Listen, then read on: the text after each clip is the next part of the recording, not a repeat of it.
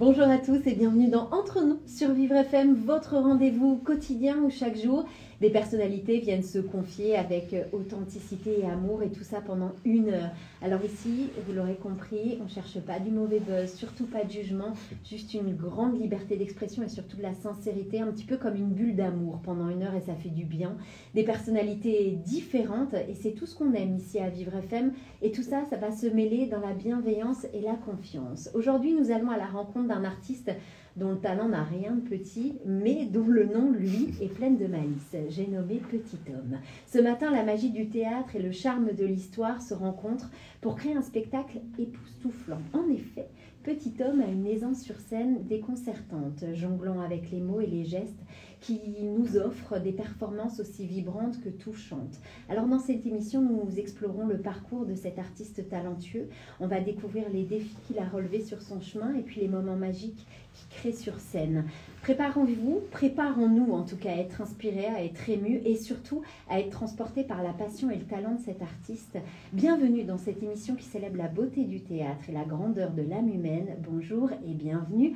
Tommy Tremblay, alias Petit Homme. Ah, c'est magnifique, merci, bonjour. Je suis très heureux, très très très heureux d'être ici. Eh bien, c'est réciproque. Je suis super heureuse de vous recevoir ce matin. En tout cas, merci d'avoir accepté l'invitation. Merci. Dans quelques instants, on va parler de votre parcours de vie et pas les moindres, mais surtout, on va parler du spectacle Molière, le spectacle musical, l'opéra urbain qui est actuellement au Dôme de Paris. Puis là, à partir de début mars, qui va être en tournée dans toute la France. Mais avant ça, vous savez, on est sur Vivre FM, c'est la radio Toutes les différences. Et chaque matin, je pose la même question à mon invité. En un mot, Tommy, c'est quoi votre différence à vous? La différence, je pense que euh, curieux, je dirais que le mot curieux, je pense que ma plus grande qualité, c'est personnellement, parce que je reflète, je reflète beaucoup sur ce côté-là, défaut, qualité de, de, ma personne. Et je pense que le côté curieux, c'est ce qui me remet toujours à chaque fois que je, je me mets dans un projet j'y vais à cœur ouvert, bras ouverts, et j'essaie d'apprendre le plus possible de tout le monde avec qui je travaille, à l'écoute. Et euh, c'est ce qui fait, je pense, ce que j'en suis aujourd'hui avec tout ce que j'ai pu avoir comme passé ou ce que je me dirige. C'est vraiment cette, cette, curiosité qui m'anime à vouloir toujours apprendre plus, autant dans le jeu, autant dans la sensibilité d'une construction de personnage, autant dans l'écriture de la musique. Euh, dans tout, je reste curieux et bras ouverts tout le temps. Une heure de curiosité alors qu'on va. Vas-y, on se plonge. Voilà, on est parti comme ça. Bonjour à tous en tout cas et bienvenue dans votre émission Entre nous sur Vivre FM. Trop cool. Magnifique présentation. Ce matin, je reçois un artiste exceptionnel, un petit peu un virtuose de la scène qui a su donner une nouvelle vie au classique. Petit homme, c'est bien plus qu'un simple comédien, c'est un magicien qui fait revivre, vous savez, l'esprit de Molière avec une bienveillance qui arrive vraiment à nous toucher. À travers ses interprétations, il réussit le pari clairement audacieux de rendre accessible et joyeux le patrimoine théâtral, offrant ainsi à son public une expérience unique où le rire et surtout la poésie se mêlent et s'entremêlent. Mais avant ça, dans un premier temps, avant de vous appeler Petit Homme, je vais déjà vous appeler Tommy, parce que j'aimerais qu'on reparte un petit peu dans votre enfance. Mhm. souvent, quand on est, enfin quasi tout le temps, même on est enfant, que ce soit euh, euh, autour d'une table avec les parents, les grands-parents, la famille ou à l'école, on nous demande toujours qu'est-ce que tu voudras faire plus tard? C'est vrai. Est-ce que vous vous rappelez, Tommy, quand vous étiez petit, vers l'âge de 7-8 ans, on va dire, Qu'est-ce que vous vouliez faire plus tard? Ah, Tu es vraiment dans le creux du sujet parce que je me dis, c'est à 8 ans que j'ai découvert ce que je voulais faire vraiment. Et quand j'étais très jeune, moi, c'était, euh, j'avais toujours de l'énergie très physique, très corporelle. J'avais envie de bouger, de, de danser. Je dansais. Un ouais, vraiment. Et j'étais toujours naturellement, j'entendais de la musique, mon corps se mettait à danser. Et j'étais très sportif. Et du coup, à l'âge de 8 ans, c'est là que j'ai découvert ce qu'était la danse. Et euh, moi qui faisais beaucoup de sport, j'avais vu un, un de mes amis dans une classe d'école euh, faire des, des, frises en breakdance, qu'on appelle, c'est se mettre sur les mains, sur le bureau. Et, faire, et là, je trouvais ça trop cool. Je me disais, ouais, tu peux te mettre sur les mains. Je commence à le faire. Et quand je réalisais qu'on pouvait euh, faire ce, ce, genre de truc, euh, les frises, sur de la musique, je me suis dit, ah ouais, donc on peut faire du sport musical. Je trouvais ça hyper intéressant de pouvoir avoir une, de l'énergie corporelle en mélangeant la musique et directement mon amour s'est tourné vers la, dans la danse. Et c'est là que je me suis dit, je ne sais pas ce que je vais faire de ma vie, mais je sais ce, que, ce qui m'anime, c'est la musique et le mouvement. Et euh, de me voir plus tard, euh, là on parle de petit homme, et pour moi, ce, ce, nom d'artiste euh, qui, qui, est hyper authentique à moi-même, c'est de revenir à l'enfance, de pourquoi que l'art, on le crée avec un cœur d'enfant et avec cette vision de, de rêve, de, du futur. Et pour moi, petit homme, c'est de toujours rester connecté à mon enfant qui a eu ce premier amour à la danse, qui a eu ce premier amour à la musique, Et tout a commencé euh, par la danse, moi, vraiment, quand j'étais jeune. Et très, très, très tôt, j'ai eu ce sentiment que c'était ça que je voulais faire et j'ai même pas eu de, de plan B en tête. Ça a été ça. Et, C'était ça et Ouais. rien d'autre en fait. et c'était pas, c'était pas que je l'ai choisi, c'est, je pense vraiment que c'est un. J'y ai goûté et je me suis jamais reposé la question. Jamais, jamais.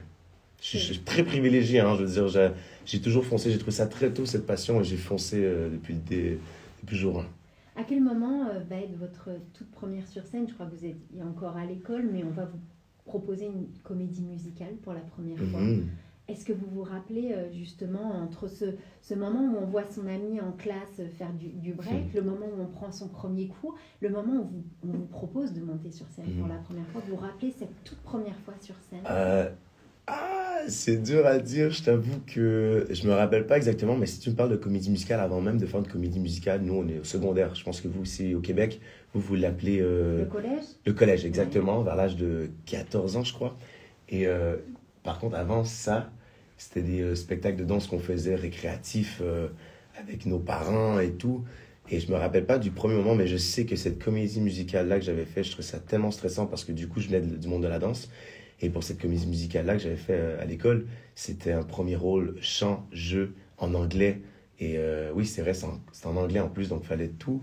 Euh, Il y avait tellement d'enjeux et de, de, de, de challenge, de, de challenge euh, à faire. Et j'étais tellement stressé parce qu'à l'école, c'était pas évident pour moi en tant que danseur. C'était euh, euh, Pourquoi c'était pas évident? ben, c'était une discipline que les jeunes garçons ne faisaient pas. C'était les filles qui faisaient de la danse. Et même si c'était du breakdance, on me classait comme le gars qui fait de la danse. Donc, euh, un peu d'intimidation, un peu de. J'étais très mis au défi avec les gens à l'école. Et du coup, de faire ça, la comédie musicale, c'était un autre défi à relever parce que tu te dis, ouais, devant les gens qui, qui déjà qui me disent, oh, Tommy fait de la danse. Déjà, tu te présentes sur scène en chantant un premier rôle. C'est encore un autre truc à, qui m'a, que je me suis dit, une chance que ma mère était là parce que je me suis dit, je vais pas le faire. Ma mère, elle me dit, non, mais t'aimes ça, fais-le, vas-y, pousse. Mm. Et euh, merci maman, merci mes parents. Et euh, je l'ai fait et j'étais hyper stressé. Ce sentiment d'être sur scène devant des gens, euh, c'était devant mon école, je le faisais. C'était pas un public qu'on présentait devant l'école et on avait passé une année au complet à le faire. Et euh, ce sentiment était autant terrifiant que. Je pense que ce qui est terrifiant, c'est d'avant d'aller sur scène. Un coup, sur scène, tu t'oublies. Et encore aujourd'hui, quand je suis sur scène, j'ai encore le petit stress d'aller sur scène, mais un coup, dans l'histoire, dans le... Avec ton public, c'est parti, il n'y a pas de doute en fait. Et justement, ce moment-là où vous allez être sur scène, où vous dites euh, il y a le trac avant d'y aller, et une fois que vous y êtes, est-ce que vous vous rappelez ce moment-là, la première fois, et de se dire oh waouh, là je chante, je danse, je joue la comédie, mais c'est ça ma vie. en Oui. fait. Et je pense que c'est à chaque fin de spectacle, tu l'as cette réalisation-là. Tu fais ton salut, tu, fais, tu, tu regardes le public, du coup, si on parle de théâtre, parce qu'en en musique, c'est différent. Quand je fais mes spectacles de musique, tu as directement le contact avec ton public pendant les chansons, tu les vois chanter, tu leur parles pendant le spectacle, mais un- une comédie musicale ou un show de théâtre, tu es connecté à l'histoire. En tout cas, pour moi, si on parle pour Molière, je suis connecté à 100%. Et je me rends compte seulement au salon de, au salon, pardon, salut, au salut, qui est-ce qui est dans la salle et on voit les regards et à chaque fois c'est un, wow, il y avait tous ces gens et, C'est comme si d'un coup on sortait de notre bulle. en fait. Mhm. Vous êtes dans une bulle pendant, pendant tant de temps de spectacle parce qu'il y a, y a, il faut penser à des choses, il faut chanter, il faut pas Mhm. oublier. faut- Et puis d'un coup, voilà, ouais. comme une fleur qui éclore et d'un coup, hop, tout le monde Ouais. est là et on se rend compte de ce qui Et c'est pas, c'est pas genre, euh, il faut que je chante, il faut que je joue, c'est vraiment, euh, tu t'oublies toi-même dans l'histoire, tu, tu rends hommage à Molière ou à l'histoire dans laquelle tu racontes. Et je ne pense pas à chanter, je ne pense pas à bien danser, je pense qu'à me connecter Ouais. à cette énergie qu'on a pris le temps de construire à travers les répétitions et qui se construit encore en spectacle. Ça reste une, des répétitions, même les spectacles, parce que chaque spectacle est différent. Mais euh, ouais, c'est, euh, tu te connectes à l'histoire et tu t'oublies littéralement. Une fois que vous avez fait justement cette première comédie musicale à l'école, vous allez chanter, vous allez monter euh, vraiment sur scène. Mhm. Dans la foulée, euh, vous allez jouer pendant deux mois pour une, une autre aventure, Mixmania. Oui, waouh, oui, ben oui. Ça a été une expérience de. C'est un petit peu, pour, pour que les gens comprennent, c'est un peu euh, ce qui équivaut à Popstar. C'est ça qu'on m'a dit. Ouais. C'est ça qu'on m'a dit. Ou un peu un, espèce de Star Academy sans élimination, où ce qu'on est quatre gars, quatre filles dans une. J'avais 15, 16 ans. Ah ouais. J'avais 16 ans. Et on est dans une, un appartement où ce qu'on apprend à chanter. On connaît, on s'est déjà chanté, on s'est déjà dansé, mais on est vraiment 4, 8, 4 gars, 4 filles qui sont dans un appartement et qui vivent leur rêve de vouloir devenir euh, des gens sur scène et tout. Et on est mis, on est filmé euh, comme à la Starac ou Popstar. Du coup, j'ai pas écouté Pop, euh, regardé Popstar, donc je sais pas trop. euh, on m'a dit que c'était un peu l'équivalent. Et on est là, on filme nos progrès, on filme, euh, on a un album, on, on, enregistre un album, on part en tournée par la suite. Donc, on a deux mois dans l'appartement à apprendre et à cohabiter. Et 16 ans, c'est hyper jeune. Et on est dans l'œil du public. Nous, on ne sait pas, on est enfermé un peu vraiment comme la star. On est enfermé et du coup, on sort et là, on voit que c'est un succès. Euh, euh, national au Québec. Et... Euh, ouais. ça va être de la folie. Hein. Ah oui, et on part en tournée, on fait tous les salles du spectacle remplies. Des fois, on fait jusqu'à six fois le Grand Théâtre, qui est un, une très grande salle euh, mythique aussi au Québec. Et ouais, à 16 ans, je t'avoue que c'est magnifique, autant que quand toute l'aventure termine, ah, il y a une descente, tu vois, chaque haut assez bas. Mais quand tu es jeune, tu n'es pas préparé à ça. Vous allez euh, former même une troupe de danse, vous allez intégrer une comédie musicale qui s'appelle Footloose, mmh. ça forcément. Donc en fait là, votre chemin, il commençait déjà, enfin c'était même pu être tracé, c'était, euh, on sent et on va sentir au fur et à mesure de votre évolution dans votre carrière, mais il y a, y a un truc qui vous anime, qui est, euh, qui, qui, est plus qu'artistique, qui est je vais tout faire pour avoir ce que j'ai envie d'avoir. Un petit peu quand même, c'est vrai. Ah non, c'est pas un petit peu. Non, mais c'est vrai que c'est. Ouais, non, si je regarde mon parcours, parce que des fois, on est tellement pris dans le moment présent qu'on prend pas toujours la peine de revoir ce qu'on a fait. Là, tu me parles de Footloose, tu me reparles de, ma, de Mixmania, pardon. Je suis. Euh, waouh, c'est vrai que je suis parti là. Et au début, début, vers l'âge de. Avant même Mixmania, avant d'être sur le centre de la scène avec d'autres personnes, je dansais pour des artistes. Euh, et un jour, je me disais, waouh, c'est cool d'être sur scène et tout, mais le jour que je peux être devant avec un micro et, et lancer des messages. Ouais, et pas juste, quand je peux dire, en tant que danseur, c'est, euh, ça reste mon premier amour, mais ça reste très abstrait. Quand tu veux lancer un message à travers la danse, le public va le recevoir à sa façon et dit Ah, j'ai compris ça. Quand tu as un micro et que tu chantes tes propres chansons et tu parles directement à ton public, ton message peut être très clair. Et c'est ce que je trouvais qui me manquait dans mon art en tant que danseur. C'est comme j'adore la, quand c'est abstrait, c'est flou, mais des fois j'aime bien être avec mon public et avoir un message clair à dire, une chanson qui défend de, de tel sujet et tout. Et euh, tôt, vers l'âge de 14 ans, quand je dansais vers des artistes, qui est très tôt hein, encore pour danser pour des artistes, je dansais avec des gens plus vieux, je me disais un jour je vais le faire. Et quand Mixmania est arrivé, je me disais, ah, c'est possible. Et après, euh, tout découle, je suis retourné vers la danse avec un groupe de, de danse qui s'appelle Marvel, avec le studio Party Time qui est au Québec. Euh, on a fait des émissions de télévision encore en tant que chorégraphe, on a fait des tournées. Et encore une fois, je retombé vers la danse, mais je me disais, mais le chant, pourquoi, je, pourquoi j'ai encore oublié Parce que je pense, que, vous allez quand même aussi, euh, vous allez aller au Cirque du Soleil, ce qui n'est pas donné à tout le monde. Non, c'est enfin, je veux dire, ça, voilà, il, il, va se passer des choses dans votre vie. Je ne sais pas si votre mm. public est au courant, mais c'est vrai mm. que on se dit waouh, on sent une détermination parce que c'est vrai que les shows du Cirque du Soleil sont mondialement connus. Ce n'est pas des castings simples. Les castings, il y a énormément d'artistes, mais mm. les castings sont extrêmement compliqués. Vous allez réussir, vous allez faire une tournée avec le Cirque du Soleil et vous n'allez pas perdre votre temps parce que euh, à votre retour justement d'une des, des, des d'un show du Cirque du Soleil, d'une des tournées, euh, vous, allez faire vous allez décrocher un second rôle dans une autre comédie musicale qui s'appelle Mamma Mia, qui est mmh. mondialement connue Donc en fait, on se dit, mais le, mec, il n'a pas le temps en fait. Il est là, il y va quoi. Mais je prends pas de vacances, c'est ça, je réalisais aussi. Je n'ai jamais pris un été où ce que je relaxais. Je pense que je réussis à trouver mon équilibre dans mes temps off, où ce que là, c'est là, je prends mes vacances d'une journée et ensuite je peux repartir, mais je suis animé par la culture, par euh, la curiosité, comme je t'ai dit, tout m'inspire. Et il y a deux jours, ce que je fais rien, eh ben, je deviens un peu hyperactif. Et, euh, et c'est fou parce que quand tu bien tout ça, ouais, j'ai fait le cirque, la comédie musicale, la danse, du chant, tout reste autour de la scène. Mais quand je te parle de curiosité, c'est dans chaque projet, je peux me retrouver à travers euh, ça et apprendre de quelqu'un. Du coup, le Cirque du Soleil, j'ai pas auditionné pour le cirque. Je pense que toute ma vie, je me suis entraîné pour le cirque sans même le savoir. Et quand on m'a proposé un truc euh, où ce qu'on était une troupe de danse tous ensemble, où ce qu'on s'est dit, on a besoin d'une troupe qui, euh, dans le spectacle du cirque, unifie un peu les, les, les, entre les numéros pour que l'histoire fait du sens. Donc nous, on était là pour remplir les trous acrobatiquement, avec une, espèce d'essence pour que l'histoire soit bien racontée et que ce soit pas juste des actes de cirque.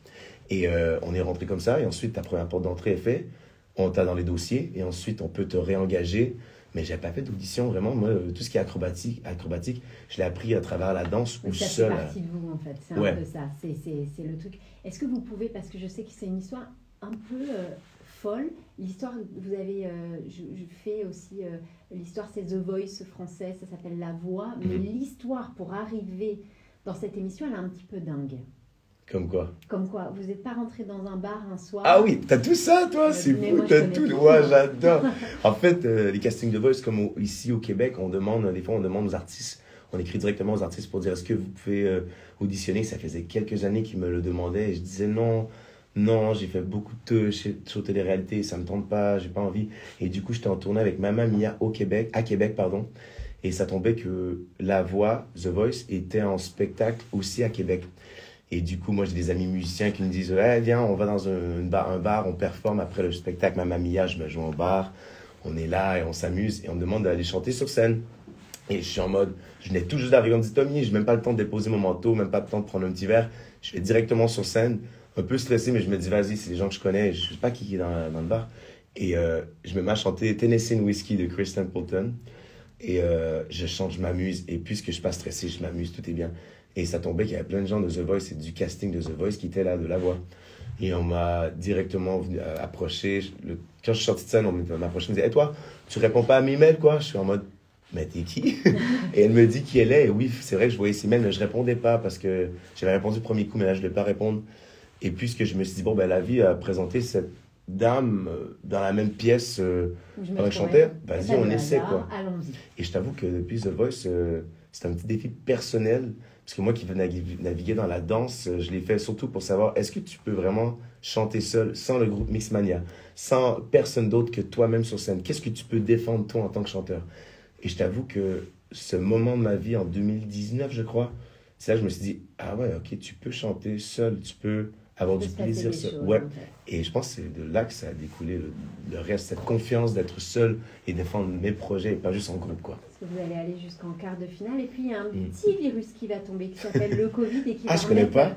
pas, mal, pas mal de choses justement, de, de peut-être de nouveaux projets euh, dans votre vie. On va en parler dans quelques minutes, bien mm. évidemment. Et puis surtout, on va parler euh, de l'opéra, hein, l'opéra urbain Molière qui est actuellement au Dôme de Paris, qui va être en tournée dans toute la France à partir du mois de mars.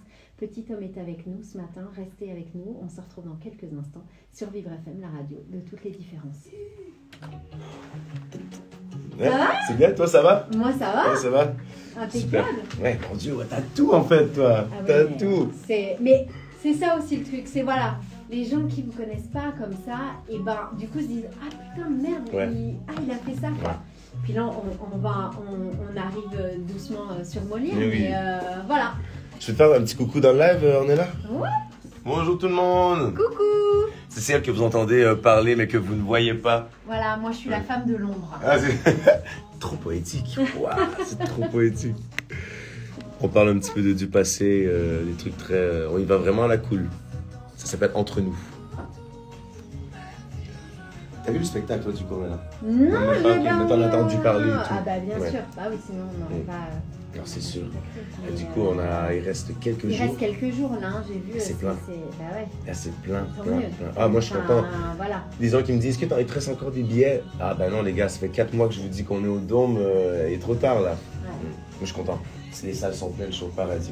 Puis là, euh, là toutes les, dates qui arrivent en tournée, enfin la tournée elle est, elle est gigantesque et c'est mhm. extraordinaire parce que euh, aujourd'hui le milieu du spectacle est, c'est dur pour certains spectacles. Mhm. Après d'autres spectacles qui cartonnent et qui fonctionnent et voilà, qu'on ah, oui. truc. Euh. Et c'était pas gagné. Hein. On y avait 14 spectacles ou même plus qui, qui, qui démarraient en fait en même temps. et puis c'est le Dôme de Paris. On n'est pas sur une salle de 400 places. Non, c'est ça. Faut les remplir. Pour que ça soit rentable avec les décors qu'on a, le groupe qu'on a. Et c'était pas gagné. Mais je pense que tout le monde a mis un peu du sien en promo. Autant la TV, moi j'étais à fond dans TikTok pour euh, essayer de une espèce de mouvement mondial. Des gens d'Ukraine, de Roumanie, de Pologne, de Brésil. Des gens du Brésil qui viennent voir le spectacle. Et on les rencontre après chaque spectacle et on dit euh, venez de où? Brésil, mais je suis venu à Paris juste pour voir votre spectacle. en mode Ah ouais Et grâce à TikTok. Après voilà, Dovatia, c'est aussi euh, c'est une pointure euh, dans, ce milieu, il sait ce qu'il fait, il sait où il va. Enfin, on, va, on, va, en parler, on va, on va parler de cette rencontre avec euh, Dovatia, on va parler de votre musique, mais surtout la, rencontre avec Dovatia et puis, et puis après on Hier, tu vois, hier j'ai regardé, un 26 janvier, j'ai regardé ma vidéo que mon manager m'annonce que je fais Molière. Et c'est tellement émouvant. Genre, tu vois que je suis terrifié en même temps d'être trop content. Bien sûr. Et euh, ouais, ce parcours, il y a en un an, il s'est passé des trucs. beaucoup de choses. Magnifique, j'adore, c'est magnifique. De replonger, ouais, de replonger dans le passé, comme je fais tellement de face. Ouais, mais des fois aussi de voir un petit peu tout ce qu'on a fait. Ouais. Bon, on se dit, ouais, c'est quand même pas mal. Vraiment, merci, c'est pour ça que j'aime bien passer des moments comme ça. Donc, euh, allez, c'est parti. Bonjour les amis. Si c'était nous deux, Molière sur Vivre FM. Vivre FM, on a la deuxième partie de notre émission. On est ensemble pendant une heure, tous les jours, pour découvrir, mais surtout pour partager des histoires de vie, des expériences de mes invités. Ce matin, je suis en compagnie de Tommy Tremblay, alias Petit. Yeah. Ouais, depuis tout à l'heure, on décortique un petit peu, ou même pas décortiquer, juste on, on raconte un petit peu euh, votre histoire de ce petit garçon qui, Mm. un jour, a vu quelqu'un faire du break et s'est dit Mais c'est incroyable Ouais. Ça lie musique, ça, ça lie tous ces trucs de corps qu'on aime, Ouais. il y a la danse, il y a la musique, tout. Et puis d'un coup, hop, le, le chemin était. euh, euh, pas simple, mais en tout cas tracé, c'était ça et rien d'autre. Et vous Mhm. m'arrêtez si je dis des bêtises, mais je pense que C'est bien ça. Ouais, en tout cas, c'est vraiment ce truc. Et puis petit à petit, euh, et c'est ça aussi que, que, que les anglo-saxons ont et que malheureusement en France ça met du temps à arriver, c'est que on est, vous êtes polyvalent. Vous pouvez chanter, danser, jouer la comédie, ça c'est quelque chose de très américain, très Mm, américanisé. ce qu'on me dit. Et, Ouais. et en France, c'est quelque chose qui arrive, mais avec beaucoup de mal. On met les gens plus dans des cases. Ouais. Là, vous, euh, vous êtes vraiment ce petit électron libre et qu'on adore en même temps. Bah, c'est ces commentaires que je reçois aussi en spectacle, c'est ah ouais, mais en fait, je pense que les gens réalisent que tu peux tout faire en fait. Et tout part encore de la curiosité, c'est que je, je ne crois pas aux cases vraiment. Moi, je ne comprends euh, ce spectre de vouloir cadrer les trucs. C'est pas possible. Non, bah en fait, non, je trouve que c'est pas possible parce que tout est porté à changement, comme les saisons. On sait, ok, l'hiver, je comprends. Chaque hiver, nous, au Québec, il y a de la neige. Ok, on comprend, c'est cadré. Mais je trouve que dans notre vie, on n'arrête pas d'évoluer, on grandit. Pourquoi se limiter à des cases? Et euh, tu vois, j'ai, on, on me le dit souvent, justement, ça, que, ouais, mais euh, en France, on aime bien caser, mais euh, avec l'équipe que j'ai construite avec Molière, je pense que chacun a dit non, les cases n'existent pas et on apprend tous l'un de l'autre. C'est ça qui est bien, Ouais. justement. Et c'est ça, en fait, quand on vous voit sur scène, vous faites partie du spectacle Molière, l'Opéra Urbain. C'est Mhm. actuellement au Dôme de Paris encore quelques jours. Et puis à partir de début mars, vous allez être en tournée vraiment dans toute la France jusqu'à Mhm. la fin de l'année. Euh, moi, ce que j'aimerais comprendre, on parlait justement, il y a eu le Covid, ça a mis un stop. Vous allez commencer aussi à lancer vos propres chansons. mhm. Mais surtout, il y a une rencontre avec Dovatia. Alors Dovatia, on ne le présente plus. hein. C'est euh, les Dix commandements, c'est Mozart l'opéra rock, euh, c'est le roi soleil, c'est les amants, c'est oui 1789 les amants de la. C'est Dovatia, c'est Dovatia égale succès. Voilà. Mhm. Donc là aujourd'hui, c'est ça aussi et le succès continue. Comment Comment elle s'est fait cette rencontre? Parce qu'elle est un peu aussi électrique et bizarre Ah que oui, les autres rencontres de votre Il vie. y a tellement eu, euh, c'est un long parcours qu'on a eu en fait. C'est, euh, il cherchait Molière depuis très longtemps.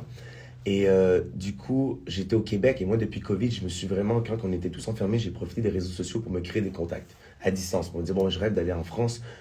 Tout commence par écrire à des gens. Donc, je me suis vraiment sorti des réseaux sociaux, ser- servi des réseaux sociaux, pardon, pour connecter des liens. Et j'ai commencé, euh, quand le Covid, on a pu recommencer à voyager, j'ai commencé à faire beaucoup d'allers-retours entre Québec et Paris. Et euh, à mettre tout mon argent là-dedans, vraiment, je prenais Airbnb, je mangeais à peine, mais j'avais la, j'avais la faim de pouvoir construire un truc. Et pendant deux ans, un an et demi, deux ans, je faisais des allers-retours. Et euh, mon nom a commencé à circuler dans les, euh, dans les, dans, les de production. Ouais, j'ai fait un, j'étais à fait avec Petit Homme. Je travaille en ce moment avec Aziz Baki aussi, qui est euh, directeur euh, artistique sur The Voice. Il est chorégraphe aussi, donc on a bien connecté en tant que danseur et tout. Et avec Arnaud Schumann. Et du coup, on a, mon, nom a commencé à circuler. Et il y a Dovatia qui a dit, bon, ben vas-y, Bruno Barberes qui demande à, Dovatia, tu connais Petit Homme? Non. On monte des vidéos. Ah, ok, ben on va l'auditionner.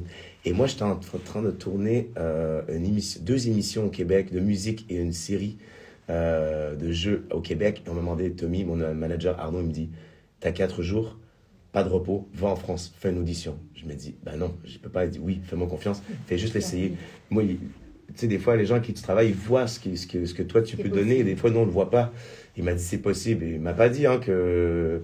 Euh, que- il m'a pas dit tout. Il m'a dit Vas-y, je prends mon billet, j'y vais fait l'audition. Et moi, Dovatia au Québec, on en a entendu un petit peu parler, mais j'ai pas, je ne sais pas, moi, tout ce qu'il avait fait. Ouais. Ladislas Chola, le metteur en scène, je ne sais pas non plus tout ce qu'il a fait. Donc, j'arrive en audition en mode vraiment, vas-y, je suis là pour Ah, m'amuser. cool. Je suis un Québécois qui doit jouer un Molière français. Vas-y, on prend l'accent, on ne se pose pas de questions. Et je pense qu'ils ont adoré cette, euh, cette fougue d'insolence, de, de, de, de, de, de juste tout donner dans le moment présent. Et je n'étais pas là, je n'étais pas stressé. C'est un truc vraiment ouf. Dans toutes les auditions au Québec, j'étais, je suis stressé. Et là, puisque tu es dans un autre pays, tu es hors de ta zone de confort, on dirait que j'avais rien à perdre. Et j'ai pu que m'amuser. Ont vu cette magie de, de j'avais dit à Ladislas, bon, alors Molière, c'est un metteur en scène, Ladislas, debout, je veux que tu me donnes ta réplique de la gauche. Et en mode, hein? Pourquoi lui, il me dit quoi faire? Mais il a trop aimé, tu vois, parce que j'osais. Et je pense qu'ils ont vraiment aimé. Et j'avais quatre jours. Les quatre jours, j'ai vu Dovatia euh, dans, dans, son studio à faire de la musique, à essayer des chansons et tout. Et tout a commencé comme ça. Et au début, euh, j'avais auditionné pour euh, un autre rôle parce qu'ils avaient trouvé leur Molière. Et j'avais eu, j'avais auditionné pour Joseph, qui est un rôle qui était en train d'écrire, qu'on écrivait sur mesure, puisque je faisais des acrobaties, puisque j'avais une fougue. Il voulait créer une espèce de narrateur dans le spectacle qu'on en ce moment. On a encore un Joseph sur le spectacle. Et éventuellement, il y a le Nepsi qui faisait le, Molière, qui a voulu se désiter pour mettre euh, ici, pour concentrer plus pour sa carrière.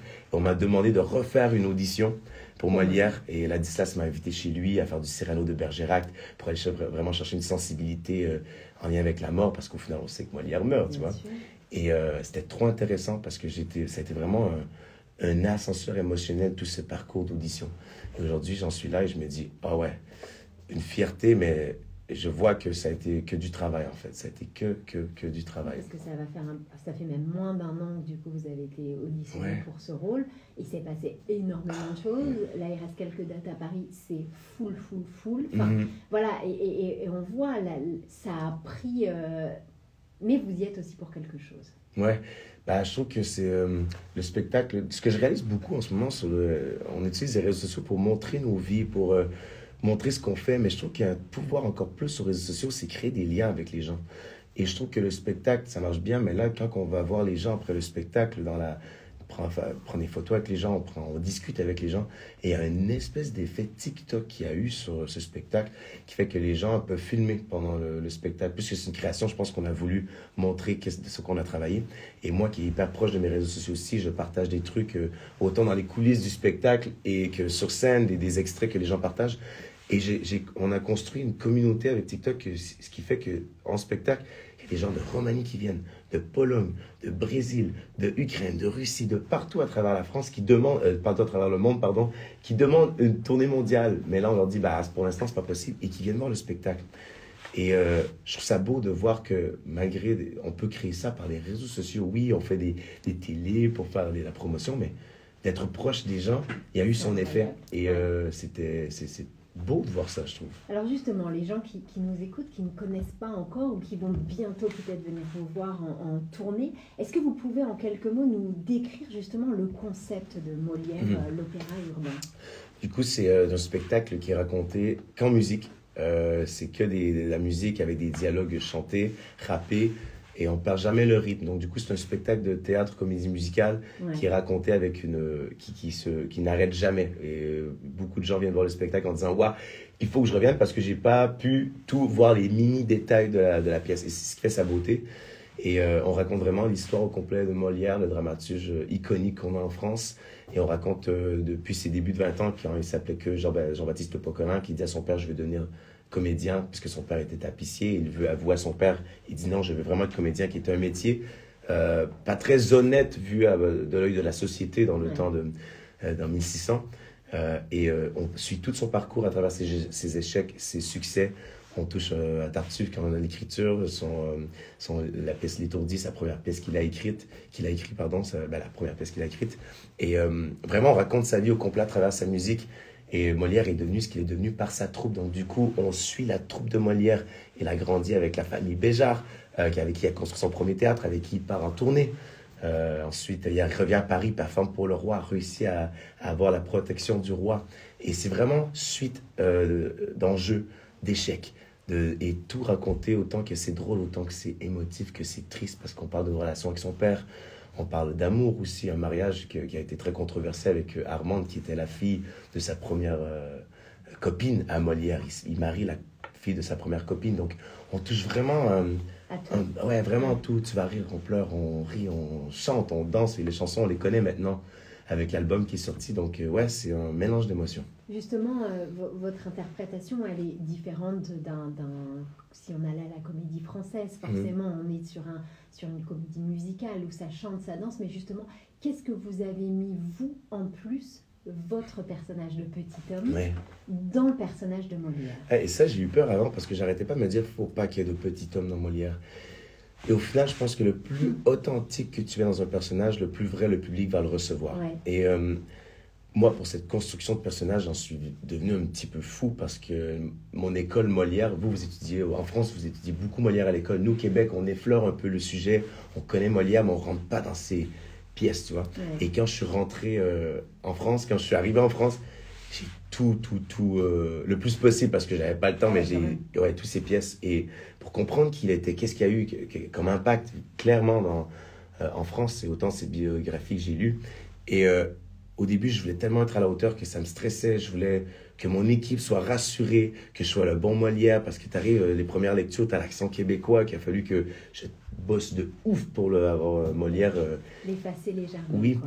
Et c'est avec le metteur en scène, la Chola, qu'à un moment, ce qui m'a dit, tu sais que Molière est un mec comme toi, qui est un artiste qui avait envie de créer, changer les trucs, mais il savait pas qu'il était Molière il est devenu Molière quand malheureusement quand il est après quand on a on, honore ses pièces et tout et quand j'ai dit oh wow donc ouais il y a beaucoup de moi en fait dans Molière et c'est quand j'ai pu mettre du mien là on a un Molière assez acrobatique dans le spectacle parce que je trouve que Molière un, mec de théâtre utilise beaucoup son corps. Et moi ma façon d'utiliser mon corps c'est à travers les saltos à travers la danse à travers les grands mouvements.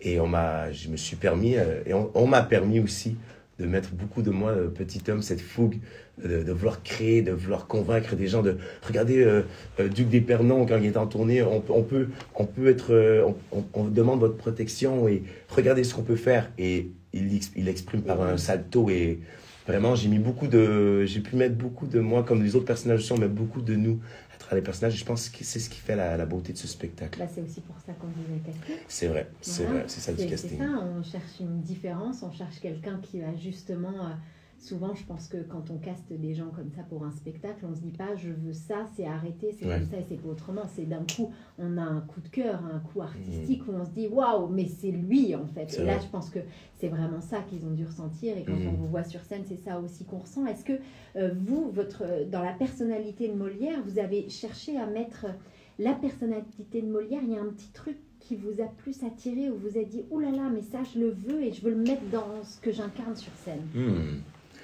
J'adore la sensibilité de Molière. Quand je lis ses pièces, on tourne un peu toujours sur les mêmes sujets. Oui, il veut changer les codes de la religion, la médecine. Et, je trouvais que cette euh, douceur, euh, ça reste une histoire d'amour, Molière. Comme le spectacle, on raconte la vie de Molière, mais euh, on le tourne vraiment en, romance, en, spectacle populaire au final. Et je pense que la sensibilité de Molière, quand je vois les textes qu'il écrit comme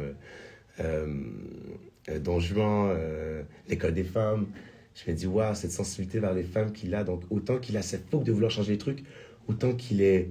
Euh, il y a tellement de questions sur ce que c'est euh, l'amour et tout. Et j'adore naviguer entre ces deux. Je trouve ça tellement curieux d'avoir le mec qui veut hyper, euh, qui peut devenir hyper politique, mais du coup devenir hyper romantique, tu vois. Et c'est de jouer à travers ces deux-là. Et après, la relation avec son père, que, lui, il en parle pas trop dans ses textes, quelques-unes parfois. Mais pour moi, ce, ce Molière, j'ai appris énormément sur moi-même à travers ça aussi. Tu vois, il a tellement voulu changer les codes que je j'en profite pour moi, euh, me remettre à écrire. Mon écriture a changé, ma, mon écriture de ma musique à moi a littéralement changé à travers. Euh, c'est l'évolution. Ouais. L'évolution euh, due à un personnage. Mhm. Est-ce qu'il y, y a un moment, justement, dans cette comédie musicale qui vous qui vous plaît, peut-être pas vous plaît plus, mais en tout cas que vous préférez, un moment que vous chérissez différemment que les autres euh, Je ne vais pas non plus dire tout ce qui se passe dans le spectacle, mais je pense que le segment, euh, euh, j'ai un segment ouais, que j'aime beaucoup, c'est tout le segment Molière-Armande. Et il rencontre Armande, c'est là, c'est le moment où oh, il devrait pas tomber en amour, mais il y a cette. C'est comme l'amour impossible en fait, c'est se dire, je peux pas, je peux pas le vivre, mais je l'aime, c'est impossible. Et tout ce segment, c'est festif. Il y a, en si peu de temps, on touche euh, le, stress de ne pas vouloir être, pas être en amour. Après ça, la célébration de l'amour. Et en si peu de temps, on je te réussis à avoir une émotion euh, qui grandit et touche à beaucoup d'émotions. Je t'avoue que dans ce spectacle, euh, dans le spectacle, c'est un moment, un moment que je kiffe beaucoup parce que je me permets de le vivre en danse, en chant, en jeu. Et ça, ça me remplit. Mais comme là, je te dis ça en ce moment, mais d'autres jours, ça va être une autre scène, tu vois comme la relation avec le père, Molière, le père, c'est hyper intéressant à jouer parce que bah, on a tous une relation avec son père. Je te parle pour moi ou à travers les hommes quand j'en parle avec d'autres amis. On a une relation assez euh, toujours semblable avec le fils-père. On veut le rendre fier, mais à notre façon. Et, et je t'avoue que la relation que, que, que, je découvre avec, euh, le Jean Poquelin, à travers Jean-Baptiste Poquelin, son père. Euh, même moi, je me repose beaucoup de questions par rapport à mon père et je ne veux pas passer à côté de cette relation qui, au final, je suis tellement reconnaissant de mes parents. Et des fois, quand on tombe dans cette trou comme Molière a tombé, dans cette je dois créer, je dois créer, je dois créer, je dois créer, on oublie aussi euh, ce qui nous entoure. Et euh, je prends encore plus euh, à cœur l'amour que j'ai pour mes parents à, à cause grâce à cette pièce, en fait. C'est beau ce qu'on vit, autant humainement que professionnellement. La réalisation, réalisation pardon. Qu'espérez-vous que le public retienne de votre interprétation de Molière? Le Au début, c'était, je voulais tellement être à la hauteur de, de, Molière parce qu'on a tous cette idée de qui il est. Et euh, je pense que c'est euh, tout ce que je veux qu'ils retiennent, c'est que c'est pas moi nécessairement je veux qu'ils retiennent, je veux qu'ils se souviennent, euh, je veux qu'ils soient touchés par l'émotion qu'on leur offre, que Molière était un humain comme nous, avec des enjeux différents parce que c'était une autre époque, mais que je veux qu'ils soient, qu'ils soient portés par l'histoire et qu'ils le vivent avec passion, autant que moi je peux vivre passionnément cette histoire. Euh, et je pense que c'est déjà le cas. Ce qu'on me dit vraiment, c'est au-delà du talent, euh, au-delà, au-delà de, des saltos, au-delà de la voix, au-delà du jeu, c'est waouh, tu, tu, ouais, tu réussis à nous transporter dans une autre dimension pendant deux heures. Et euh, pour moi, c'est ça l'art. C'est un échappatoire à ce qu'on peut vivre pour créer de nouvelles émotions. Et il y a des gens qui reviennent en disant Ouais, j'avais le rêve de chanter avant ou jouer de la comédie. Et tu m'as donné trop envie de refaire. Donc, je reçois des paroles de chansons. Des fois, les gens m'envoient des vidéos de qui chantent et qui, ça crée un énorme moment de passion que, et d'échange. Et ça crée des liens. Et c'est ce que je suis plus reconnaissant de ce projet. Alors le public en parlera bien mieux que moi. Hein. J'ai été fouillée un petit peu sur Internet. Euh, j'ai vu des commentaires comme euh, une magnifique soirée, de l'émotion, du rire, surtout des mmh. artistes incroyables sur scène qui nous transportent dans un bel univers ou encore euh, la comédie musicale Molière est pleine de vitalité. Les chorégraphies, les chansons, les danseurs et les acteurs, chanteurs même, sont parfaits. L'artiste qui interprète Molière est juste époustouflant. Je ne savais pas tout sur Molière et ce spectacle a comblé mes lacunes. Comme quoi, vous voyez, le public en parle bien mieux que les autres. Et de tout, il y a de tout. Tu vois, ça, ça touche un petit peu le tout. On touche le chant, la danse, mais l'histoire et ah, c'est beau, ça fait plaisir, vraiment. Et eh ben voilà, c'est l'ego boost de la matinée. le spectacle Molière, l'opéra urbain, il est actuellement au Dôme de Paris et à partir de début mars en tournée dans toute la France. Petit homme est avec nous ce matin, on se retrouve dans quelques instants parce que j'ai pas fini de vous charcuter. Ce qui va se passer sur le futur de votre vie. On se retrouve dans quelques instants sur Vivre FM, la radio de toutes les différences. Ah, ma chanson préférée On se moque Ça, c'est justement, justement dans le spectacle, c'est le moment euh, Molière Armand, il se marie. C'est la fête. Tout va bien? Oui, toi? Ah, Moi, impeccable. Est-ce qu'on peut prendre photo pour euh, le Bien sûr, bien sûr. Ensemble, que l'homme tremble. Merci. Tu me dis hein, s'il y a des trucs, je prends trop de temps. Non, non, il n'y a pas de, vraiment pas de problème. Euh, ouais, tu peux. Ouais, Et si c'est comme tu veux, on le fait ensemble, on est là Une toute seule, tout seul, pardon, et après tous les deux. Vas-y. Juste ici. Il fait une Ah ouais, là il y, a, y a des fans en fait, clairement. Ah ouais. ah ouais. On va venir vous voir, on va venir vous voir. Trop cool. Voilà, une petite photo avec moi. ah ouais, vas-y. Allez, allez, allez. Les filles pour les photos, c'est maintenant, allons-y gaiement, hein, comme ça. Non, non, mais pas de deuxième morceau. Allez, hop, donnez-moi les téléphones, on y va. J'y vais, je suis partie. ensemble. C'est trop bien. Euh, on prend tout avec son téléphone. Vous travaillez ici aussi? Oui. Avec ta tête de. Non, mais.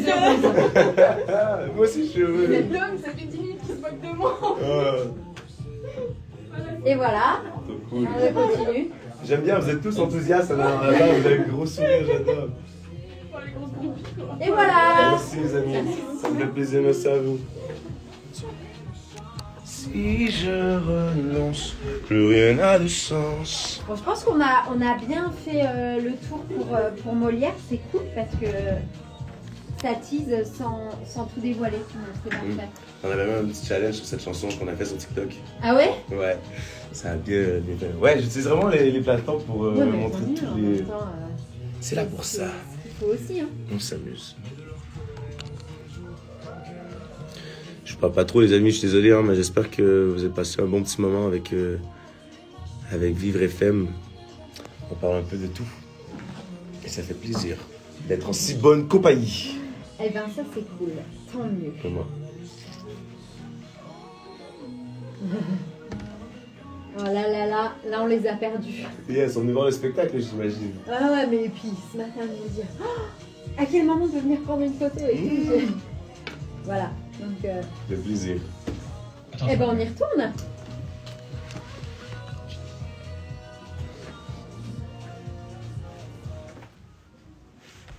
On se moque Molière sur Vivre FM. Vivre FM, on a la troisième partie de notre émission. Entre nous, on découvre tous les jours ensemble des artistes, des personnes qui ont des vies complètement différentes. Et ce matin, c'est vraiment le cas avec vous, petit homme. On découvre ce petit garçon plein de malice, si je puis dire, qui a Mhm. vraiment envie de, de- voilà, d'exprimer plein de choses avec, euh, avec son corps, avec sa voix, en chanson, sur scène. Et puis, au fur et à mesure, euh, ça s'est pas fait en claquant des doigts, ça s'est fait avec beaucoup de travail. Aujourd'hui, vous en êtes là, vous êtes euh, sur la scène pour Molière, l'Opéra Urbain, c'est actuellement au Dôme de Paris, et puis ça va être en tournée dans toute la France à partir du mois de mars. Mais du coup, moi, j'ai juste envie de vous dire, mais il se passe quoi après? Parce que je me dis, avec cette énergie que vous avez, vous pouvez pas me dire, bon, je sais pas, je, je- je me doute qu'il se passe déjà beaucoup de choses. Oui, et euh, je suis euh, chanceux d'avoir aussi une équipe avec qui je travaille, euh, qui est un Arnaud Schumann, que lui, c'est un, mon manager avec qui nos routes se sont croisées au Québec en sortant de la voix. Il m'a vu et a dit Toi, je veux travailler avec toi. Et il a tout abandonné, les artistes avec qui il travaillait pour venir travailler avec moi. Et, on, et je t'avoue que oui, on est toujours en train de préparer la suite parce que je pense que ce métier, en fait, si je parle de mon métier, oui, là, on me connaît à travers Molière, mais normalement, moi, je fais de la musique, j'écris mes chansons et tout. Euh, et euh, du coup, on prépare la suite. Il y a un album qui est prêt depuis tellement longtemps, mais qu'on retarde. Et quand je parle de longtemps, ça fait quelques années qu'il est prêt, mais que au final, un album, c'est jamais terminé. Puis avec Molière, on, on a tout mis en pause parce que c'est, je vais être à fond dans chaque projet que je fais. J'aime toujours être à fond, toujours en préparant la suite. Et euh, ouais, il y a de la musique qui arrive. Et pour moi, euh, euh, qui est un mec qui vit de positivité et tout, mais on a toujours. C'est bizarre, ça se sent pas du tout. Non, c'est ça, je me hein dis, je ne comprends pas. Mais à travers toute positivité, il y a un petit côté sombre que qu'on vit. On n'est pas, on- je crois pas que personne n'est toujours 100% positif. Et pour moi, la musique euh, est apparue dans un moment de ma vie où que l'écriture, si je parle de l'écriture et les mélodies, chanter et tout, est arrivé dans un moment où j'avais vraiment besoin de- d'exprimer des trucs. Comme je te parlais tout à l'heure, euh, un premier euh, segment, c'était euh, la danse est abstraite. Et même pour moi, quand je dansais, je ne pouvais pas comprendre des fois comment je me sentais. Et quand j'écris, c'est une thérapie, c'est écrire comme Molière en fait. Et comme je te dis, Molière a réussi à aiguiser, tailler mon crayon d'écriture, tu vois. Et euh, pour être encore plus précis de quand je me sens, j'adore avoir un concept et le décortiquer. Pour moi, l'écriture, la musique, c'est là pour ça. Et après Molière, j'ai tellement de choses à raconter que j'ai vécu que ouais, on peut voir mon parcours qui est peut-être hors de l'ordinaire. Et j'ai pas envie de garder ça pour moi. J'ai vraiment envie de partager, oui, euh, les coulisses de ma vie, autant à travers l'écriture. Et que ouais, c'est super beau, Molière, c'est beau ce qu'on a vécu, mais j'ai eu des moments difficiles. La création, ça a été euh, pas évident. Quand tu veux être à la hauteur d'un projet, euh, tu passes par des périodes assez euh, douteuses et tu te demandes, euh, Les périodes de remise en question. ah oui, qui sont les plus importantes, euh, pas juste en tant qu'artiste, mais en tant qu'humain. Ces périodes-là sont difficiles pour nous réorienter. Et euh, ouais, j'ai tellement hâte de partager la suite de Molière, que c'est un projet musical qui. C'est une partie de ma vie euh, et j'ai trop hâte de, d'en partager ça avec le public. Ça va être un- une belle deuxième étape à, à mon arrivée en France. Oh, on Mm. adore, on adore, on adore. Il y a un projet peut-être justement ou un, un objectif en particulier que vous rêvez de faire dans l'avenir? Euh, j'ai toujours voulu faire le tour du monde.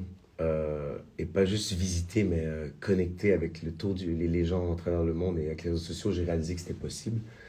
Et euh, à travers la musique, et je pense que c'est pour ça que j'ai tourné rapidement vers les Cirque du Soleil, parce que je me dis, ah ouais, on peut faire des tournées mondiales et tout. Mais je pense que c'est de pouvoir avoir euh, ce pouvoir, et ce, ce- pas ce pouvoir, mais de- à travers des chansons qui est une façon de toucher les gens, euh, c'est d'avoir ça avec mon art et de à travers le monde, mais tout en restant en français. Euh, voyager le monde et connecter avec les gens. Et je sais pas, j'aime tellement être avec des gens, j'aime tellement donner aux gens, j'aime recevoir des gens. Et euh, pour moi, la musique, c'est là pour être partagée. Et je le fais pour moi au début, mais après ça, j'adore le partager. Et moi, mon petit rêve, ce serait de vraiment parcourir le monde avec ma musique. Il n'y a rien de plus simple et compliqué à la fois. Oui, c'est ça, c'est simple et compliqué Ouais. à la fois, Mhm. mais en tout cas, je croise les doigts pour vous. Mm. J'aimerais savoir, Tommy, aujourd'hui, quand 2024. Vous êtes qui? Euh, Je suis un mec qui a soif d'apprendre, euh, qui a soif de donner, qui, euh, qui vit d'amour, qui croit que toute situation est une solution, qui est très positif, tout en vivant l'ombre de sa les, les, côtés négatifs de sa positivité, mais je crois que tout peut revenir à la lumière. Et je crois que je sais que le, le monde ne va pas nécessairement bien. Et par contre, il y a plein de trucs qui sont magnifiques de cette vie. Et je crois que c'est un cadeau d'être, euh, sur Terre. Et euh, je remercie la vie toujours, toujours. Et au-delà de l'art, je crois que de mon art, je suis là pour. Euh, je suis une personne qui adore donner du positif aux gens et de rêver. rêver, j'en ai l'habitude. Mais ouais, je voilà, je suis un éternel enfant qui, qui a soif d'apprendre et qui, qui, qui, voit la vie avec toutes ses couleurs, malgré que ça peut être chaotique quelques moments. Mais je crois que dans chaque chaos, il y a une fleur qui va pousser. Quand vous regardez votre vie, tout ce qui s'est passé, en tout cas depuis, euh, depuis le début de vos, vos 8 ans, mm. est-ce qu'il y a un moment, le premier en tout cas, qui va arriver tout de suite dans votre tête, où vous êtes de ce moment plus fier que les autres?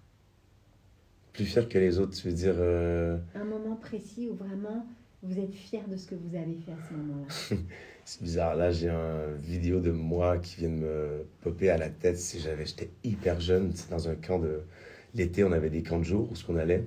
Et une vidéo que ma mère m'avait envoyée tout récemment. Et euh, tu vois que tout le monde est assis en train de regarder euh, une scène. Et moi, je suis debout en train de bouger comme un fou. Et je prenais pas de coup dedans. Je devais avoir 6 euh, ans, quoi. 6-7 ans. Et tu vois que tout le monde est assis, me regarde comme ça. Et moi, je suis là en train de danser, danser, et me foutre vraiment de ce que les gens peuvent dire et voir. Et je me dis, ouais, pendant que tout le monde est assis, moi, je me permettais de vivre. Et euh, ouais, là, je regarde aujourd'hui, je me dis, ouais, t'es encore en train de faire la même chose en fait. C'est toi sur scène que les gens regardent et, et que tu vis. Donc, ah, j'aime ça, ces questions-là, ça me ramène dans des petites émotions. Donc, ouais, je pense que j'avais 6 ans, 7 ans. J'en ai plein d'autres, hein, mais c'est lui qui est venu à l'esprit en ce moment.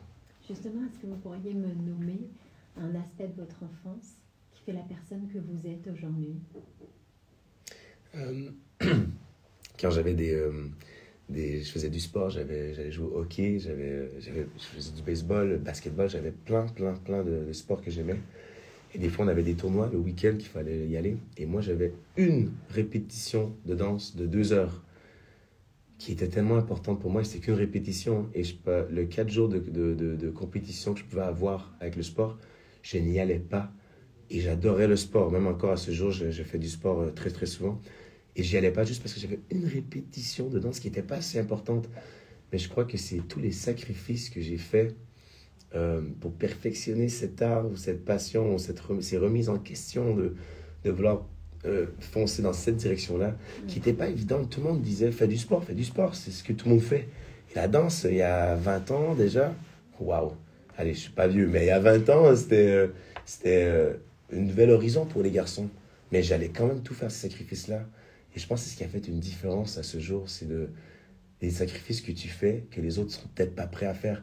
Les soirées que mes amis allaient faire euh, dans les bars et tout, non, moi je passais ça au studio de danse à perfectionner mon art, ou les studios de musique. Et euh, ouais, c'est, euh, je pense qu'il n'y a pas de secret à cette, à cette vie. Hein. C'est le temps et l'amour que tu y mets qui fait que ça peut fonctionner. Ça arrive jamais du jour au lendemain. Les gens pensent que ouais, les artistes se, se présentent et viennent des stars. Ah non, ça n'existe pas ça. C'est le travail. Et je pense que ça fait une grande différence. Tommy, si euh, on mettait un miroir en face de vous, et, euh, qu'il y a le, petit Tommy qui a 8 ans, qui est en train de regarder ce, ce, ce, copain en train de faire du break, qu'est-ce que vous, en tant que petit homme aujourd'hui, vous auriez envie de dire à ce, à ce petit Tommy de 8 ans? Mais comment t'as fait pour te rendre jusqu'à là? C'est vraiment ça que je dirais, parce qu'au final, j'ai la télévision, je me disais, euh, ouais, ben chanter, c'est pas possible, je vais juste me mettre à danser. Donc, le petit gars de 8 ans qui voit que je suis en train de construire une carrière de musique, euh, être premier rôle, qui joue Molière dans, en France, le petit gars de Québec, il croirait jamais ce qu'il est en train de dire. Et encore là, je pense que ce petit garçon de 8 ans n'est pas prêt à voir la suite. Parce que même moi, euh, on va se reposer la même question. Tu vas me dire, euh, alors le gars de 29 ans, euh, qu'est-ce qu'il dirait la personne que tu deviens Et je crois qu'il y a encore de magnifiques surprises. Et je vois, je vis cette vie avec plein de surprises. Mais le petit gars de 8 ans en ce moment, il n'en reviendrait pas ses yeux. Il ne croirait pas ce qui arrive. Et pourtant, il en rêvait, quoi. C'était le rêve qu'il avait. Et, vraiment, je suis content d'avoir vraiment continué toujours à cette lignée-là et pas me dire, euh, ah, c'est pas possible. Non, je me suis jamais. Ça, je dis que c'est un privilège parce que beaucoup de jeunes ne savent pas ce qu'ils veulent faire. Et moi, très tôt, j'ai su et euh, je me suis jamais reposé la question. Donc, euh, ça fait plaisir, en fait. Ouais, le petit, euh, et encore, je suis encore très jeune. hein. Le petit, je vois encore ses yeux, euh, le petit gars de 8 ans, et euh, ouais, il n'a pas tout vu encore. T'as pas tout vu. Il n'a pas tout vu. Et vous serez où dans 10 ans? Alors, moi, quand j'étais jeune, je rêvais. Qu'est-ce qui se passe? Qu'est-ce qui se passe, la petite voix? Je rêvais d'avoir plein de maisons à travers le monde. Là, je pense que, allez, je me suis redescendu sur Terre. Je voulais neuf maisons à travers le monde. Là, je pense que c'est pas le but que je veux, mais j'aimerais bien continuer à voyager le monde et euh, réunir des communautés, unir les gens, vivre en liberté, croire qu'il n'y a pas de cases. Mais je me vois vraiment en train de travailler, le, voyager le monde avec ma musique, avec plusieurs albums et euh, réunir des communautés. Ce serait réunir des pays, arrêter toutes ces, ces frontières qu'on a à travers le monde et qu'on soit que des humains. Mais je crois que je rêve seulement de donner du bien à, aux autres aux autres et voyager le monde. Ça, ça reste encore mon kiff personnel. Bah, Vous en faites du bien aux autres Mm. sans vous en rendre compte et c'est encore ça le, le plus beau d'ailleurs. On rappelle que vous êtes actuellement euh, dans, vous êtes Molière, dans Molière l'Opéra Urbain, c'est au Dôme de Paris encore quelques jours et puis ensuite en tournée euh, depuis, à partir de début mars euh, dans toute la France. Une dernière question, si là tout de suite maintenant, en quelques mots, les gens qui nous écoutent, vous pouvez leur dire ce que vous avez envie, un message, ça serait quoi? Euh, je pense que c'est. euh, ce qui vient encore une fois, c'est la curiosité. Être honnête envers soi-même et se dire que il n'y a rien de trop ridicule, il n'y a rien d'impossible, il n'y a rien de. Tu au final, moi, je commence, je parti en danse, je croyais que le chant, c'était pas possible. Et quand je me suis mis à le faire et à, à le vivre, pas le faire, à vivre le chant et d'incarner le chant, d'incarner la danse, d'incarner Molière, tu incarnes ce que tu fais, euh, tout devient possible. Et euh, il y a arrêtez les cases. Il n'y a pas de cases. Tu peux pas te caser. Si tu te cases toi-même, voilà, tu t'es casé. Mais les autres ne peuvent pas te caser. Tu, tu, tu es le maître de ta propre destinée. Et quand je dis rester curieux, c'est qu'en fait, j'ai ce concept, parce que tu vois, quand tu construis une maison, avant de la construire, tu fais ton plan. Tu fais le plan de ta maison. Tu dis, bah, ça, ça va être cette pièce, ça va être cette pièce. Eh bien, faut faire la même chose avec la vie, en fait. Et si tu vis toujours en réaction de, des, des, des, des événements qui t'arrivent, tu ne construis rien. Tandis que si tu dis, moi, je veux ça, ça, ça, et tu le dessines, et tu l'écris, et tu le redessines, tu le réécris, en fait, ton corps et ton subconscient sait ce que tu veux, et tu es en mode, euh, vas-y, bah, oui, parce que tu l'as vu et tu l'as ressenti. Et voilà, tout Et est possible ça. si tu te prépares à le faire et tu as un plan, vraiment. Tout est possible. En tout cas, ce matin, merci d'avoir été euh, à nos côtés. Merci à mon réalisateur Dominique Lemaître. Merci à Julien, monsieur fantastique, de trouver tous les jours des invités différents. Justement, nous sommes euh, une équipe et une émission sans une équipe, ça ne fonctionne pas. Mais surtout, petit homme, merci à vous de cette euh, luminosité, de ce moment simple, efficace, avec beaucoup d'amour. Ça fait du bien. Merci d'être l'artiste que vous êtes aussi sur scène. Merci. Je pense que vous influencez et vous donnez beaucoup de positif aux autres. Et c'est pour ça qu'on vous aime et qu'on vous suit. Merci d'avoir été avec moi. Merci, c'est un magnifique moment, vraiment plein d'amour. Et puis nous, bien évidemment, on se retrouve dès lundi matin sur Vivre FM, la radio de toutes les différences. Ah, wow, on a trop des bonnes chansons dans le spectacle. Merci. Merci, c'était vraiment cool. Vraiment. Vraiment, vraiment cool. Vraiment. J'ai passé un super moment. Moi aussi, vraiment. T'as les Ouais. yeux captivants, ce qu'on a envie de donner plus à chaque fois. C'est ouf. Eh bien, tant plus. mieux, Merci. tant mieux, tant mieux. Mais euh, euh, euh, ouais, je sais par quoi t'es passé, je sais ce que t'as vécu. Moi, j'étais sur scène il y a encore un an et demi, j'ai arrêté, je suis, c'est une reconversion. Ah J'étais danseuse pendant 17 ans. Et qu'est-ce qui a fait? C'est une blessure? Sinon, c'est Non, c'est euh, parce que j'ai 38 ans aujourd'hui et que. euh, Waouh, tu fais à- ton âge du tout incroyable. Mais il faut passer à autre chose, quoi. Et euh, parce que bah, la danse, voilà, c'est c'est une autre forme et qu'à un moment, C'est pas le éternel. corps il Ouais. suit plus et il dit euh, là, il faut arrêter. Et puis, j'avais pas envie qu'on me mette dehors, donc je préférais euh, Ouais, je moi-même tirer ouais. ma révérence. Mais, euh, mais oui, je comprends tout. tout, euh, tout- voilà. je pense que c'est pour ça que je me suis tourné vers la musique aussi, parce que je me suis dit, la danse ne sera pas toujours éternelle. Non. Donc, si je peux chanter et intégrer la danse à travers l'art, à travers ce que je fais, c'est bien. euh, il y a Léo qui va arriver, qui va reprendre, mais, mais oui, oui, oui. En tout cas, merci. Merci, c'était trop Merci cool. beaucoup. C'était vraiment trop, trop cool. Passé un super moment. On a passé un super moment ou quoi, les gars? Voilà, le trépied, je vous laisse ici. Je te raconte. Oui. Donc les gars, c'était une petite entrevue comme ça. Merci d'avoir passé un petit moment. Euh, je vais essayer de vous lire un petit peu, je vais voir. Je laisse le trait. Bonjour, ça ça va va, ça a été Oui, très bien. Très très bien, merci. Euh, Merci. Merci. Merci à toi, merci à toi. beaucoup. C'était chouette. Merci. Allez, gros bisous. T'as pour la météo Merci. Ouais, vraiment, ça me fait plaisir. Euh, bonne question et euh, humain. Humain. Très humain, j'adore. Je mettrai euh, le podcast en ligne euh, tout à l'heure Ok, et cool. on Tu m'envoies le lien sur et, euh, Instagram, j'envoie avec la photo. Merci. Un Merci grand, grand plaisir. À Et bientôt. encore bravo. À très Merci, à bientôt. très bientôt. Les amis, un plaisir. À très bientôt, merci beaucoup. Merci, ouais, t'es multitâche. merci les amis, bisous. Bon, je suis à vous les gars. Alors, vous avez aimé, vous avez kiffé? J'aime bien vous montrer euh, euh, l'envers de, tout ce que je peux faire et euh, les coulisses que vous voyez. Et sur Instagram, c'est rare que qu'on le fait. Des fois, c'est plus TikTok, mais là, j'ai envie de vous partager ça. Donc ouais, on a fait vraiment un beau petit reflet sur ma vie. Et des fois, je réalise en faisant justement ça que on a passé par plein de trucs dans la vie pour arriver où ce qu'on en est. hein. On vit tellement le moment présent que que ouais, on oublie littéralement euh, notre passé. Et des fois de de parler avec autant d'entrevues ou avec des amis, de refléter ce qu'on a fait, c'est toujours bien parce que parce qu'on réalise euh, ce qu'on a fait. Voilà, je sais pas si ça fait du sens. C'est incroyable, on se fait un check allié vendredi. Lucas, mon gars Allez C'est sûr. Un homme, un être simple, merci. Simple, avec beaucoup de complexité, je vous avoue. Hein, genre, euh, je suis pas tout... euh, je suis pas que simple. Qui est? Personne de que simple. L'humain est beaucoup trop compliqué. Coucou Lydie, j'espère que ça va. Donc les gars, on sort d'une entrevue. On sort d'une petite entrevue qu'on a eue avec euh, Vivre FM. On va partager le lien euh, prochainement. Euh, sûrement aujourd'hui, c'est en direct. Et un super moment que j'ai passé avec Vivre FM.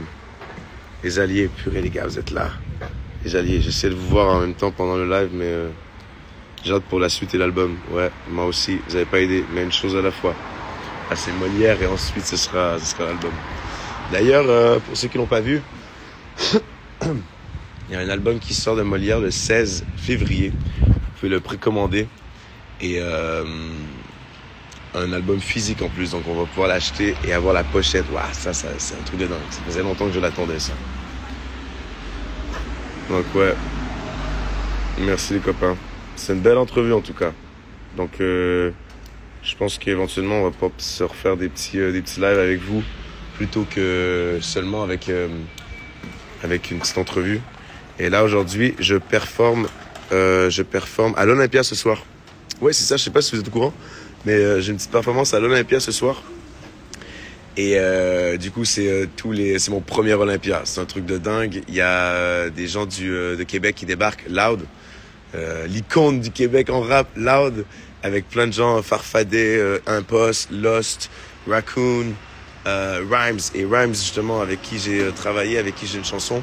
Il m'a invité, il m'a invité à faire la chanson qu'on a fait ensemble. Et c'est mon premier Olympia, donc je suis euh, même pas stressé, j'ai juste hâte d'être sur scène parce qu'on dirait qu'avec Molière, je fais que Molière et là, ça va me faire du bien de, de retourner dans, dans ce que je sais faire. Et on va faire, on va mettre le, le feu à la salle. J'ai vu qu'il y a des gens qui allaient être là ce soir. Trop chaud. Trop, trop, trop chaud, les gars. C'est mon premier Olympia, donc euh, de vivre ça avec vous, ça va être charmé. Donc pour ceux qui vont être là, les billets, je les ai mis en story. Vous pouvez, euh, vous pouvez acheter des billets. Et on a déjà euh, 1800 personnes qui sont là, là. Donc ça va être chaud, les gars. Premier Olympia. Chiche Ça être des souvenirs de dingue. Vraiment, la France, euh, je vous kiffe, hein. Je vous kiffe. Ce qui est beau, c'est d'être euh, avec des Québécois en France. Ça, mec, c'est la folie. La LIFO. Là, il y a des gens qui vont m'haïr, mais j'aime bien faire le verlan de folie. Il n'existe pas, mais on va le créer ensemble. c'est une LIFO. LIFO. Voir ton spectacle Molière le 1er juin au Zénith. Ah, les gars, la tournée, ça va être chambé. La tournée, ça va être chambé. Donc là, moi, du coup, j'ai des petits trucs à faire. Euh, du petit shopping pour ce soir. Pour les outfits et tout. Donc, euh, je vais vous laisser. Mais c'était un plaisir d'avoir partagé ce petit, euh, ce petit moment de, l'IFO. Ah, les gars, je vais vous le mettre dans la tête. Hein. Ce petit moment de l'IFO. à l'entrevue Vivre FM. Je vais vous partager le lien d'entrevue. Mais euh, si vous aimez ces lives-là, euh, comme ça, euh, un peu euh, à l'improviste, dites-moi-le et on peut passer plus de temps comme ça. Des fois sur Instagram, j'en fais moins, mais euh, TikTok, j'en fais plus. Mais sur Instagram, j'aime bien aussi. Parce que, voilà. Est-ce que Lou sera là à cette date? Je sais pas de quelle date tu parles. Please say there will be a US and Canada tour Molière. I'm dreaming of it. Manifesting it. We'll see. Je pense que pour Molière, on essaie tout pour l'avoir. Et euh, on verra. Pour l'instant, j'ai pas de nouvelles. On fait la tournée de France et euh, Suisse et Belgique et ensuite on verra. Les gars, je vous embrasse. Je vous embrasse fort, fort, fort.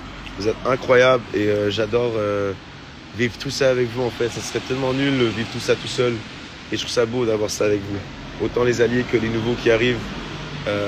Cette vie, ce serait nul seul. Et vous avoir, je trouve ça magnifique. Je vous embrasse. Plein de faux à vous. Et pour ceux qui viennent ce soir, on se voit ce soir. Et euh, les autres, euh, on se voit bientôt sur le show Molière ou sur un live et tout. Je vous embrasse les gars. Love.